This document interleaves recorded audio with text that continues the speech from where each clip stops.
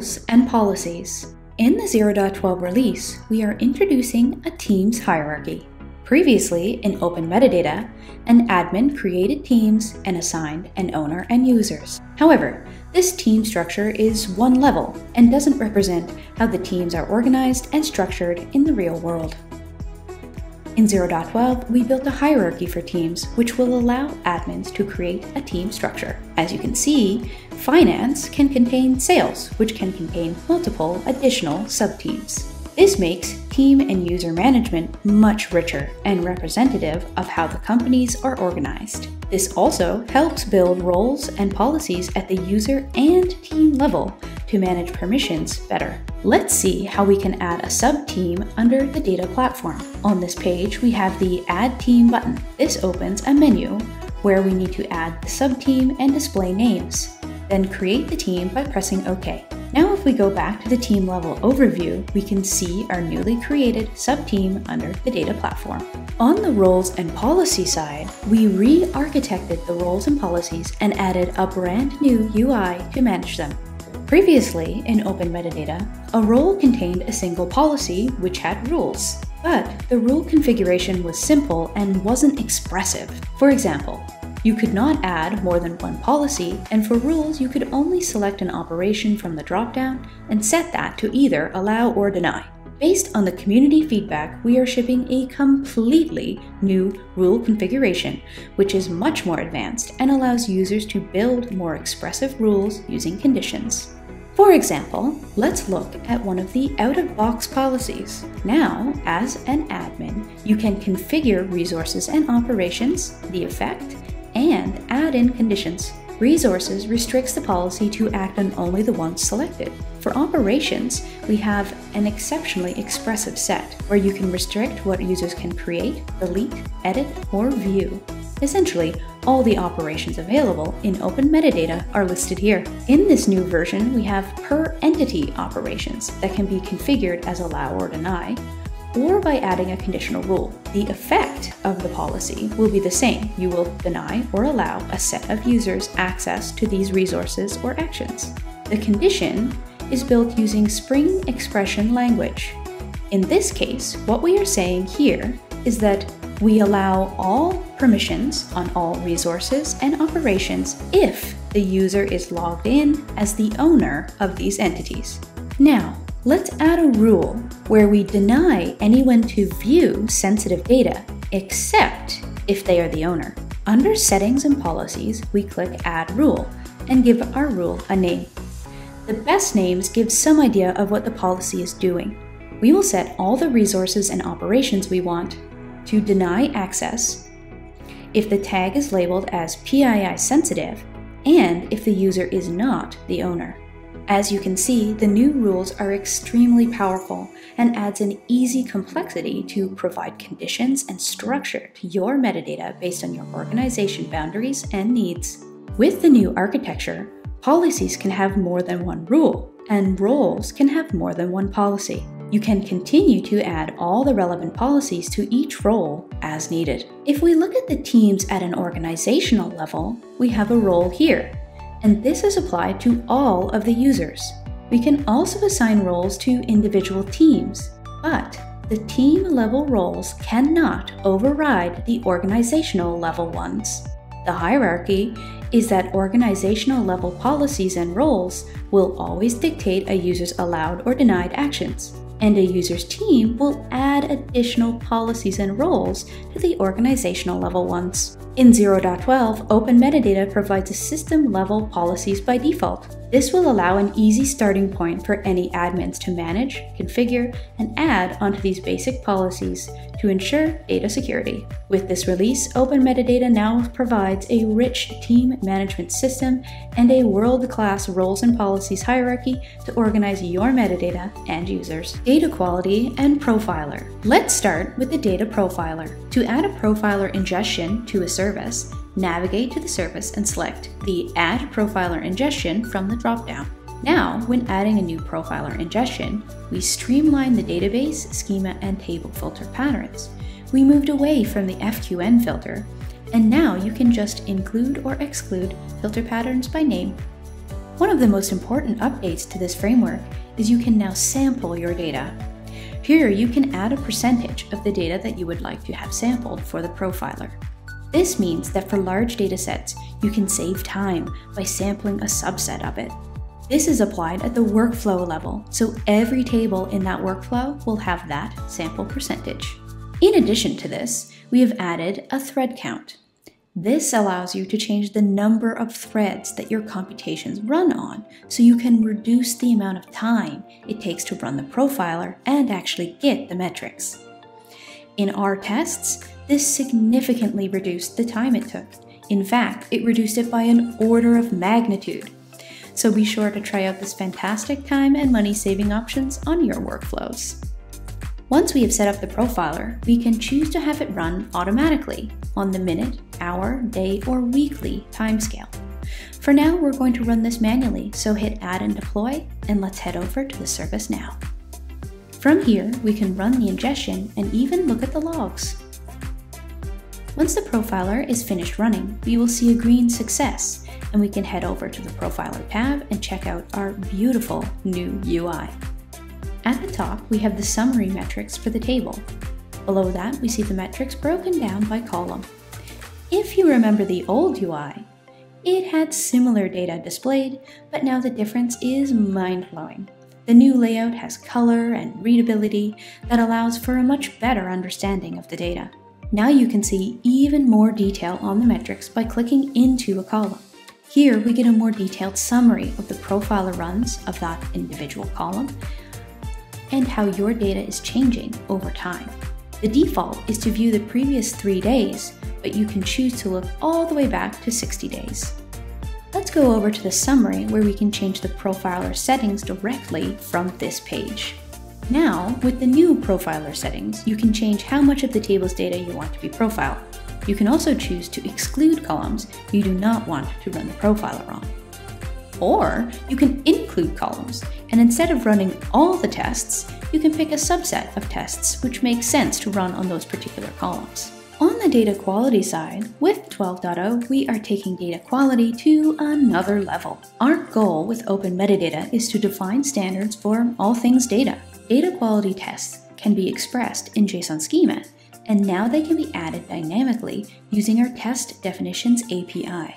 This will enable adding a homegrown custom set of test cases to Open Metadata. Previously, Open Metadata used to run all of the test cases as part of a single profiler workflow. This, however, restricts how many tests can be run simultaneously, and it also means it's not possible for users to create tests and schedule them at different intervals. With our new test suite, you can group together relevant test cases that belong to multiple tables and schedule them in a single workflow. To create a test suite, click the Add Test button. You can choose a test suite that is already available or make a new one. To make a new one, choose a unique name and add a description for your set of tests. Then we will want to actually add tests to our new set. So we give our test a name, select from the dropdown the type of test we want, and add in the necessary details, and then hit submit.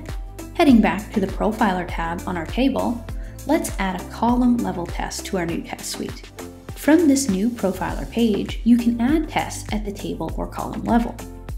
On one of the columns, click Add Test. We can choose our newly created test suite from the drop-down menu and click Next. Then we do the same as before, adding a test name, selecting from the drop-down the type of test we want, and adding the necessary details for that particular test let's quickly add one more test at the table level.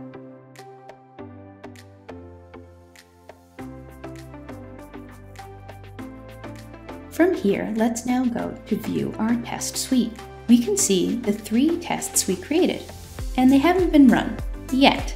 Let's run them by heading over to the Pipeline tab and under the Actions, hitting Run.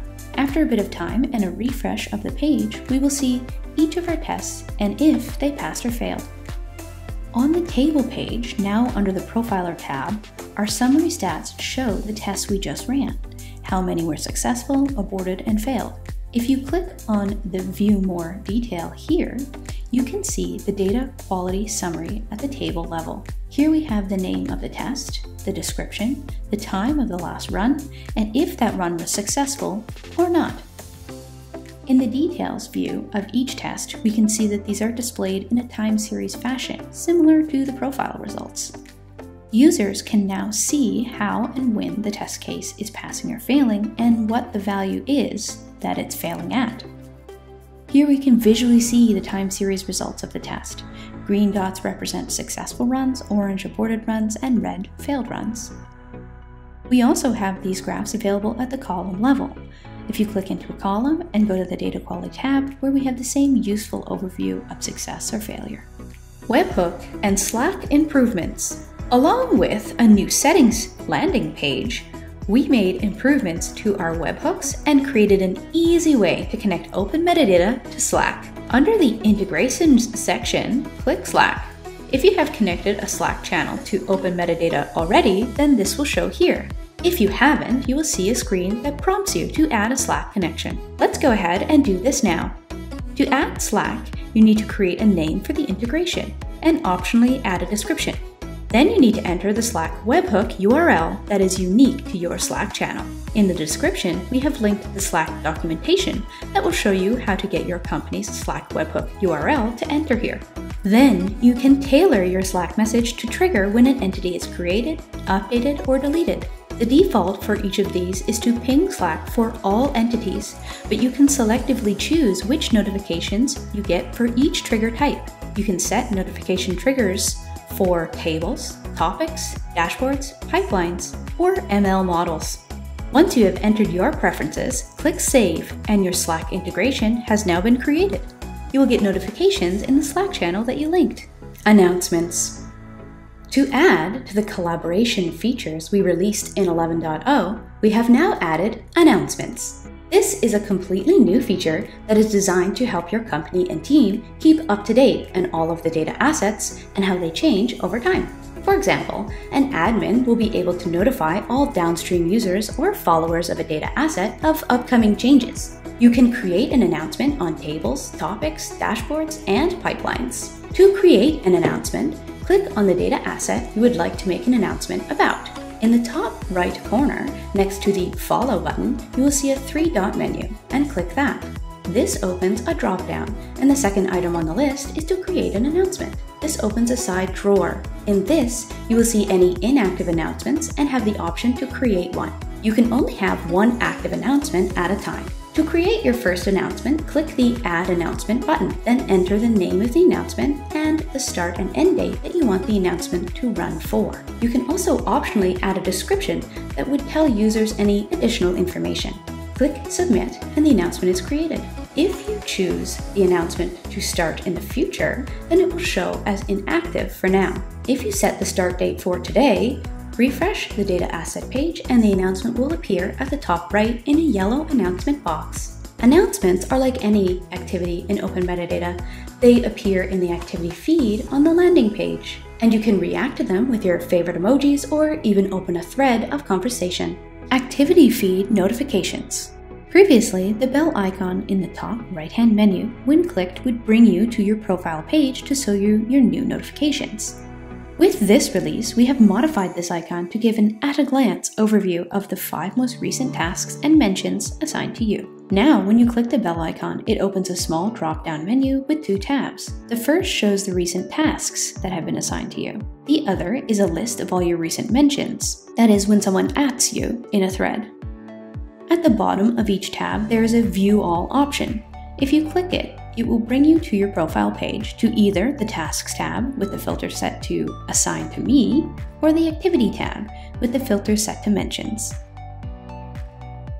Global Settings page.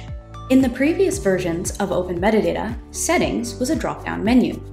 Anytime you wanted to navigate to any of the settings options, you would open the menu, click the setting you are looking for, and enter into a new page. Say, if you were on the Services page browsing, the only way to move to a new settings option was to reopen the menu and select the other setting. This slows your productivity and doesn't give a great overview of what options are available to you. In the new release, we have created a settings landing page. That gives you a complete picture of all your available options. The sidebar has seven different sections. They are Members, Access, Services, data quality, collaboration, custom attributes, and integrations. In the integration section is the webhook, Slack integration, and bots options. Notice that glossaries and tags have been moved out of the settings completely and are now options along the top left menu. When you switch between a section in Services to, say, Custom Attributes or a section under Access, the sidebar remains. This way, if you are modifying multiple settings, this sidebar is always available to you for easy multitasking.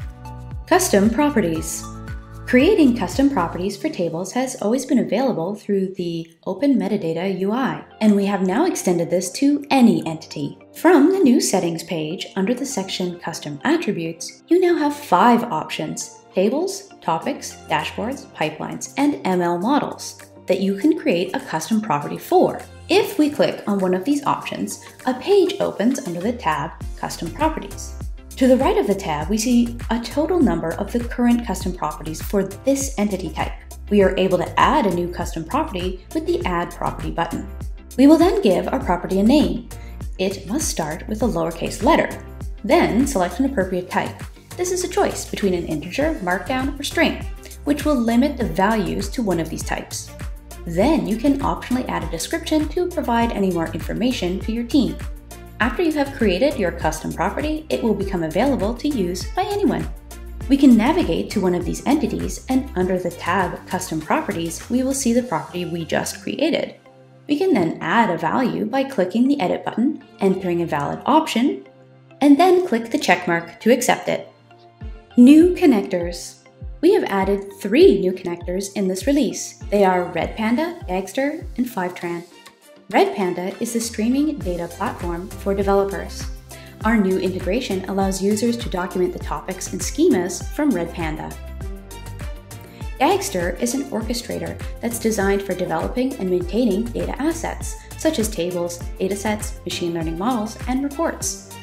This integration will allow you to make all of your Dagster pipelines available in open metadata. Fivetran improves the accuracy of data-driven decisions by continuously synchronizing data from source applications to any destination, allowing analysts to work with the freshest possible data. Now, all of your Fivetran pipelines will be available in open metadata